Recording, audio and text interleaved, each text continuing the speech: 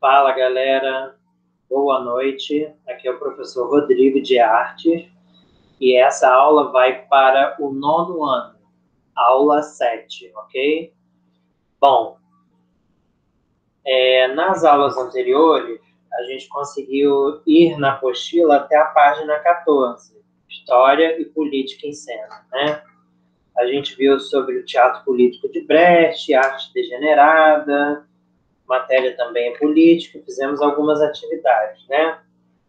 Essa atividade da página 15, a gente não vai fazer porque é em grupo, né? Infelizmente, com a pandemia aí que tá tensa, a gente tem que respeitar, né, os, as orientações da OMS, então a gente não vai fazer essa atividade, nem em sala e nem online, tá?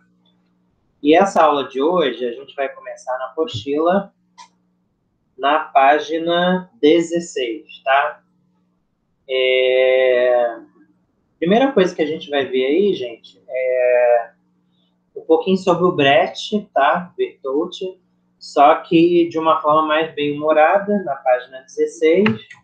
Na página 17, a gente vai falar sobre o Frederico de Lorca, né?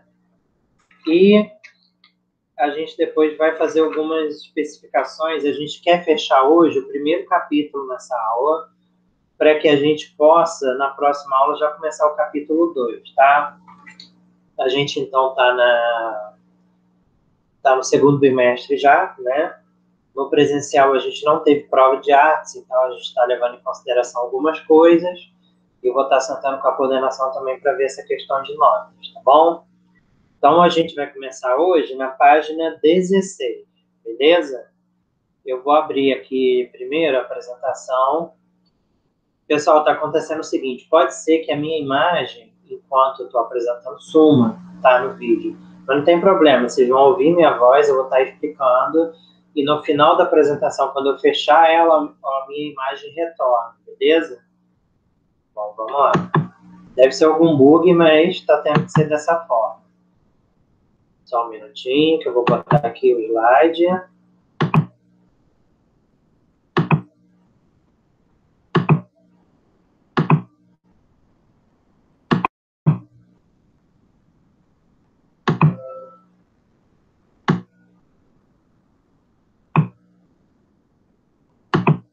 Bom, vamos lá.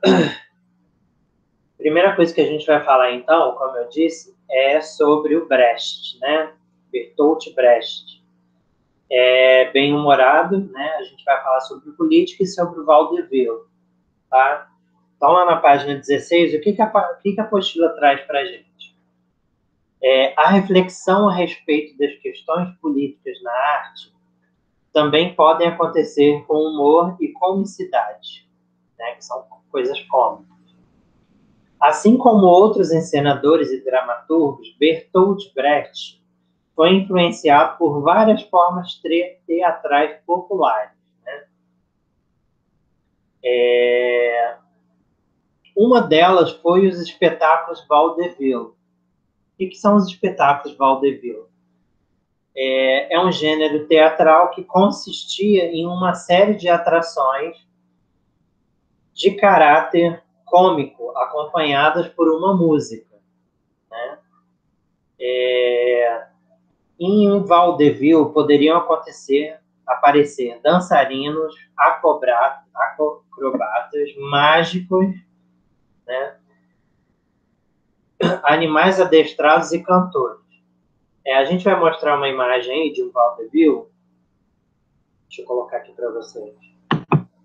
Então a gente vê que tem sim uma pegada cômica, né? a gente tem dançarinos, a gente tem cantores, a gente tem alguns animais adestrados que fazem parte aí dessa, dessa encenação, né?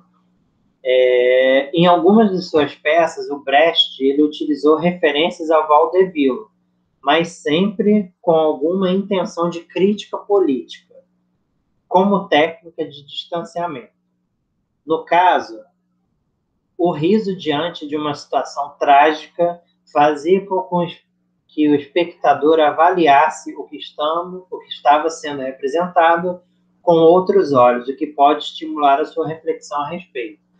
Então, através do riso, né, de uma situação que na verdade não era para rir, mas ele refletia: poxa, eu estou rindo disso, mas essa situação é, é, de tal forma.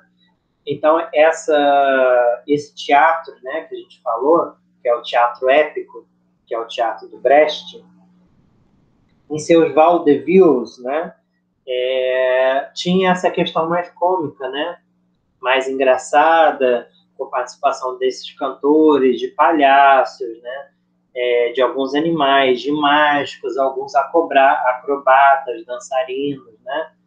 Então funcionava dessa forma. É, e aí trazer reflexão, né? De uma forma engraçada, mas tá, beleza. Mas e a questão política? Então Brecht ele sempre puxava para essa questão mais política, né? E aí, ainda na página 16, tem uma outra imagem aqui. Ó. Virtual Vaudeville Continuous Performance. Então, é, são duas imagens, né, que estão aparecendo aí, realmente de coisas mais cômicas, né, dessa participação desses vários atores aí, desses acrobatas, palhaços, cantores, né, que é justamente esse estilo aí de esse gênero musical, né, desse caráter cômico, né, que são acompanhados por música. Então, são peças teatrais que têm muita música. E aí, pessoal, passando ali para página 17, a gente vai para o nosso próximo é, tópico, né, na página 17, que a gente vai falar sobre o Lorca. O Lorca é esse rapaz que vocês estão vendo na foto, né? Frederico Garcia Lorca, que viveu de 1898 a 1936, né? E aí, o que, que a apostila vem falar para a gente sobre o Lorca? Vamos lá. A rebeldia de Lorca. A poesia e o teatro de Frederico Garcia Lorca possuem um estilo doce e comovente, com um tom de revolta e rebeldia que encanta gerações de leitores.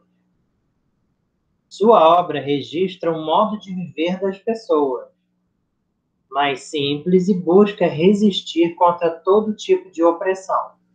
Né? E aí a gente vai naquela questão lá do, do também do teatro do oprimido, tá? Seu trabalho identifica-se com populações que foram alvo de perseguições ao longo da história, como mouros, né? judeus, negros e ciganos. Ele próprio, o próprio Lorca, sentiu na pele a discriminação por, por sua orientação sexual. Por causa disso e de suas opiniões políticas, ele era acusado pelos nacionalistas de pertencer a grupos considerados perigosos para o regime naquela época. A Guarda Civil do ditador Francisco Franco, que foi o ditador que viveu de, de 1892 a 1975, prendeu Locke em 1936. É, nos arredores ali da cidade espanhola de Granada. Então, ele foi preso lá em Granada. Na madrugada do dia seguinte à sua prisão, o ele foi fuzilado e enterrado em segredo. Então, não, não espalharam a notícia de que ele tinha sido morto, né, e ele foi enterrado em segredo para que a história dele pudesse cessar, né? É, e aí tem uma peça chamada A Peça Sete Corações, Poesia Rasgada.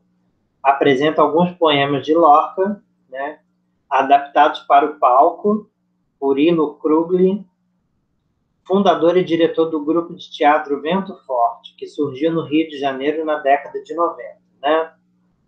Então, a peça é, apresentava poemas do Lorca, mas a peça, na verdade, era do diretor Il, Ilo Krugli, né, que é do, do grupo Vento Forte, no Rio de Janeiro, que surgiu lá na década de 70. A peça é uma homenagem ao Lorca, tá? é, na qual a poesia e a infância unem-se em um espetáculo participativo. O que é um espetáculo participativo, galera? é um espetáculo que tem a participação efetiva do público, né? Então, eles são chamados ao palco é, para dar algum depoimento. Tem várias formas aí de estar do, do, do, público, né? Do, do, dessas peças estarem participando. E aí, é, era uma peça que tinha muito senso crítico na época, né? É, tinha uma temática como a liberdade e a opressão, utilizando símbolos da poesia de Locke de forma lúdica, com humor, tornando-se uma grande brincadeira teatral. Então, essa peça ela era interativa, né? Ela tinha esse, essa, essa coisa lúdica, explicativa, né, de uma forma mais branda e utilizando, sim, das, das poesias do Lorca, do Frederico Garcia Lorca. É, Frederico Garcia Lorca, ele lutou e defendeu suas posições até o último momento. Suas peças mais famosas são As Bodas de Sangue, A Casa de Bernarda Alba e Erma. Então, são três peças mais famosas aí do Lorca, né? E aí, lá na página 17, a gente tem uma imagem é, do desenho para Emílio Lanes, desenho Fundação de Frederico Garcia Lorca, Madrid, Espanha. É um desenho do Locke aí, provavelmente capa aí de alguma de algumas poesias aí do Lorca, né? Isso na página 17, tá? Entenderam, galera? Assim, é, ele sim é, utilizava né, dessa coisa de de ser esse, esse cara da rebeldia, né? Infelizmente ele foi aí morto, né? Pelo na Espanha, né? Lá em 36, um dia depois que ele foi pego, foi preso, ele foi morto e enterrado em segredo, né? Então, quer dizer, olha para você ver que naquela época a arte, né? A arte, o teatro, eles tinham essa, esse cunho muito ligado ao militarismo, muito ligado ao governo. Então não poderia se falar coisas, né, por conta de ditadura, enfim, vários, vários, várias passagens aí que nos remetem a esse tempo foi muito complicado. Hoje em dia, claro, né, a gente tem arte aí como um esteio muito grande. Infelizmente no Brasil a gente ainda não tem, essa, esse reconhecimento da arte, né, mas que acho que no, em alguns momentos em próximos anos, né, em algumas décadas, a gente vai ter uma valorização, né, depois dessa pandemia aí, da questão da arte, né, que a arte na pandemia, ela também entretém as pessoas, né, então também é uma forma de estar ajudando psicologicamente, inclusive, né, as pessoas a estarem passando por esse momento tão difícil, né, que a gente está tá colocando aí, está vivendo, né. E aí, galera, olha só, é, na página 18 e 19, a gente tem uma atividade para fazer. Então, vocês vão ler, tá? É, um, texto da, um trecho da peça do Lorca, do Amor. São duas páginas, a 18 e 19. Vocês vão ler esse texto, né? E aí a gente tem três questões aí na página 19. Primeira, nessa peça de Lorca, que características a tornam política? né, discuta com os colegas, aí né, no, no online fica mais difícil. Dois, quais os temas são trabalhados pela peça, pelo autor nessa peça? De que forma que ele faz isso? E a questão três, as situações retratadas pela peça estão presentes em seu cotidiano? Estão? E de que forma que elas estão presentes no seu cotidiano, tá? Então, isso daí a gente, para finalizar o capítulo 1, as práticas da página 20 a gente não vai fazer. E para finalizar, ali na página 21, a gente tem três livros ali, caso a gente queira ler, para poder complementar o nosso capítulo 1. O primeiro dele é O Santo Rebelde, da Erika Bauer, de 2004, né? Da... Só não tem o nome da editora aqui. DVD, na verdade. É um filme, tá, gente? Desculpa, não é um livro, é um filme, tá? Chamado O Santo Rebelde de Erika Bauer. A gente tem a Revolução dos Bichos, de George Orwell, é, da editora Companhia das Letras, que é A Fazenda dos Animais. Também é muito interessante vocês lerem. Ah, professor, não tem o livro, não tem como comprar o livro. No Google você vai lá e consegue baixar em PDF, tá? É, e a gente tem um outro livro aí, na verdade é um documentário, desculpa, chamado Arquitetura da Destruição, tá? Do Peter Coyne. Ele é de 1989, também é uma, uma boa vocês darem uma olhada aí, pesquisa no Google, vê se tem nas plataformas digitais, se não tiver, vocês tentem baixar, beleza? Então, a gente, na página 21, a gente encerra o capítulo 1, né? E na próxima aula a gente continua na página 22, através do capítulo 2, beleza? Bom, espero que vocês tenham gostado da aula. Tá? É, eu não sei se a minha imagem sumiu durante a apresentação, mas se sumiu, beleza. Vocês conseguiram ouvir minha voz e viram ali o PowerPoint para poder ilustrar um pouquinho a aula de hoje, tá bom? É isso então, muito obrigada para quem esteve presente e até a próxima aula.